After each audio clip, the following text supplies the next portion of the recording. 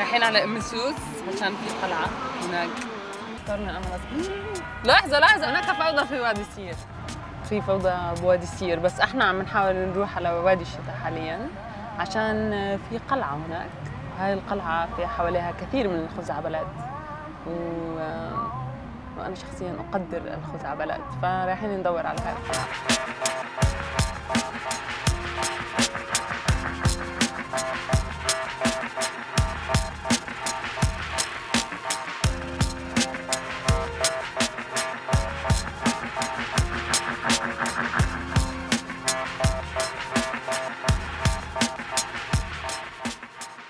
قبل 22 سنة تقريبا لما طلعت فوق بدأت أتخيل كأنه كان في جيوش قديمة من زمان الرومانية الإسلامية العربية الكذا.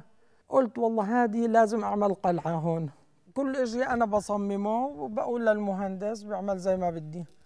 طبعا حبيت يعني أعمل إشي غريب هيك أبراج وأشياء هذه. ليش؟ مشان يعني أغير الروتين اللي في بلدنا مثلا كل واحد ببني زي الثاني هالبيوت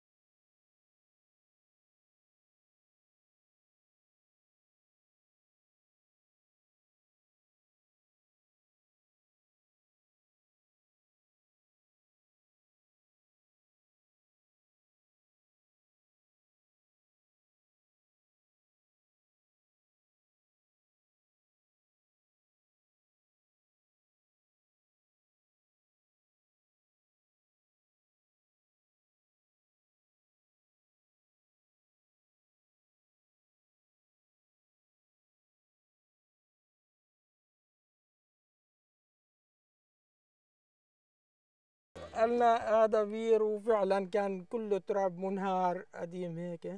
آه. آه ردينا طلعنا ما في إشي يعني.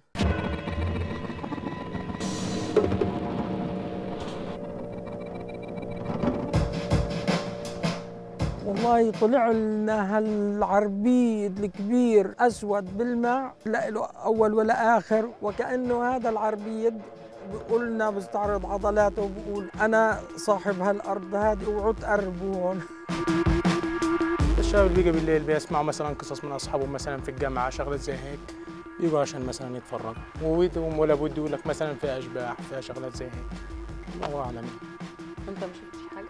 لا ما شفتش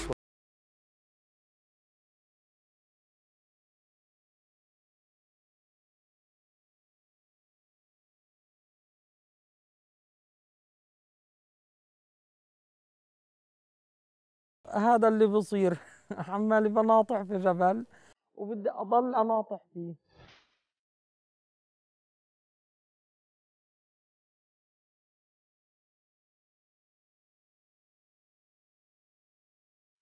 أنا بنصح دائما إنه الإنسان إذا مشى في طريق وبحب هالشغل هذا إنه يستمر فيه.